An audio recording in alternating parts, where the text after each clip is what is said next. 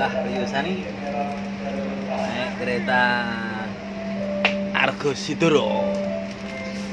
Karena hari libur tiketnya 504 ribu.